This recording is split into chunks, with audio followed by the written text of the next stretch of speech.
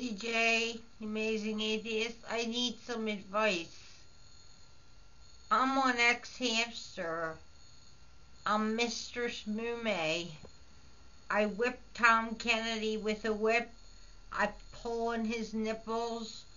And I do quite a few other things. I'm getting a lot of backlash from YouTubers who are fucking holy.